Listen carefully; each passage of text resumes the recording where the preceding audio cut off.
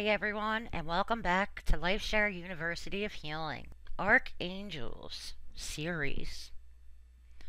Today, we are talking about Archangel Gabriel and the orange ray of light. So let's begin. Again, Archangel Gabriel is the color of orange. His focus is creativity, and it's also used for dissolving fears the chakra for Archangel Gabriel is the sacral chakra, which is the element of water, and it balances expression as vitality, creativity, and originality. Orange is the second ray of the visible rainbow spectrum, and the orange ray influences the sacral chakra on the physical level on a third dimension. The orange ray is also perceived as vermilion, moving from orange to an orange gold color.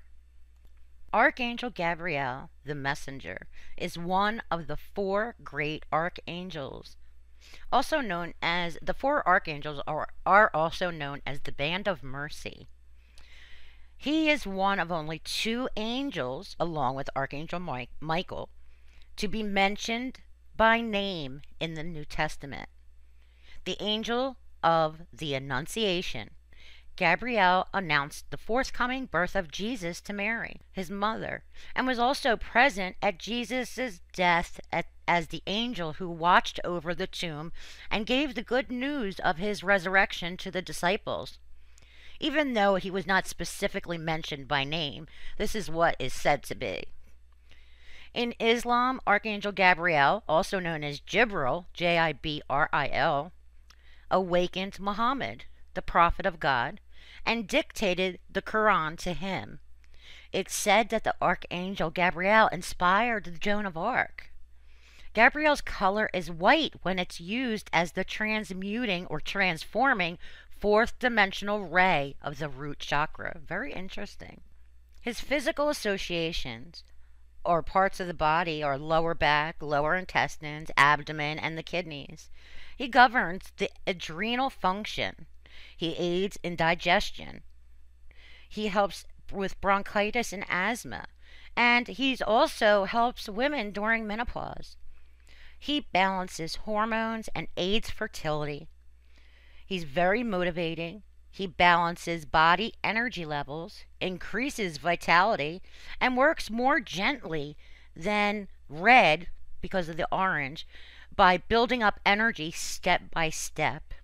And he unlocks deadlocked processes, bad patterns, bad habits, things like that. And he also eases constipation. His emotional and mental associations are grief, uh, or, you know, helps with grief, eases bereavement and loss, and he enhances creativity, optimism, and gives a view of life that is positive. He helps ease fears and phobias, and releases the fear of experiencing pleasure, which is pretty interesting. With that said, it's like when people don't like to have, or not that they don't like to have fun, but they engross themselves in their work to avoid facing something in life, you know? So releasing the fear of experiencing pleasure is just that is thinking that you don't deserve it or that you just put yourself into a constant working position where you don't get to enjoy yourself or have fun in life. And having fun in life is really, really important.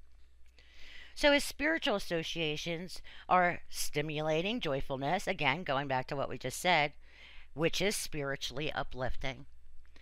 So, when you're feeling down or just need some, you know, uh, energy in your life or Maybe you're feeling down or just don't know where to go to have some fun or meet new people. Call on Archangel Gabriel. He will gently take you step by step to where you need to be. Thanks for watching, and I hope you enjoyed this video. Don't forget to subscribe, like, comment, and share. And I'll see you in the next video. Talk to you soon. Namaste. He will gently take you step by step to where you need to be. Thanks for watching, and I hope you enjoyed this video. Don't forget to subscribe, like, comment, and share. And I'll see you in the next video. Talk to you soon. Namaste.